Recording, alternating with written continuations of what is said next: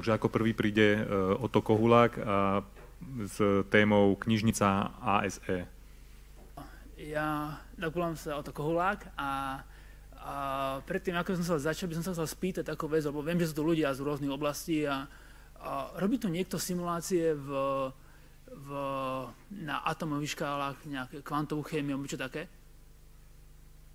Dobre, tak to si zostručním, lebo je to vlastne nie veľmi zábavné. A, a totiž, no, o čo ide? A, nevidím, aha, teda posunúť tak niekde vedľa, alebo splitnúť oný obrazovku. No dobre, uh, takže uh, keďže asi to veľa ľudí neosloví, tak ale keby ste mali nejakých kamarátov, známych, rodinných príslušníkov, čo sa tomu venujú, uh, tak uh, asi pravidelne sa stretávajú s tým, že človek, keď robí kvantovú chémiu alebo proste hociaké simulácie na atomovej úrovni, tak uh, už 20 alebo 30 rokov sa nerobí vec, že človek si nejakú teóriu implementuje odpiky, že použije buď nejaký kód, je veľa open sourceových kódov, sú niekde aj closed sourceové kódy, dokonca za niektoré chcú ľudia aj peniaze, ak chce človek používať.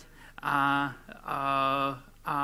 ale čo je pointa tá, že väčšina týchto kódov, malo ktoré má ujíčko, väčšina je sa, používa sa ako vstup, vstup textáč, kde ešte pre tú srandu sa používajú v každom úplne iné jednotky. Niekde sa používa ako XML ako vstup, niekde sa používa a, a vo viacerých, vo viacerých v týchto fajloch a, a, a človek keby mal si teraz niečo vyskúšať jedného a z toho zobrať výstup dať do druhého, proste to ide o nervy. No tak a najjednoduchšia vec, čo sa dá urobiť, je urobiť sa dá v na to, nech mám jeden taký interfejs, jeden interfejs, kde keď pôjde nejaká, nejakú úlohu a potom ktorému kódu už pošlem, tak to už je vec toho vrapra, že, ktorý je napísaný pre každý kód zvlášť. No a veľkú, na veľké šťastie je viacej ľudí urobilo na svete, to sa na to rovnako zamyslelo a existuje veľmi pekná knižnica, a, a ktorú som si obľúbil ja. Ja tak skúsim presunúť, lebo nenašiel som ten knoflík na, na, na, na, na mierovnutie obrazovky.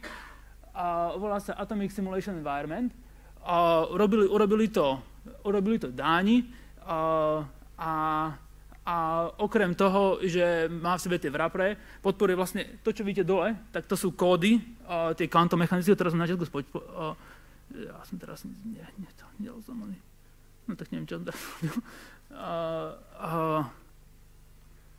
toto, sú, toto sú vlastne kódy, ktoré tie kvantomechanizmy, ktoré podporuje wrapper.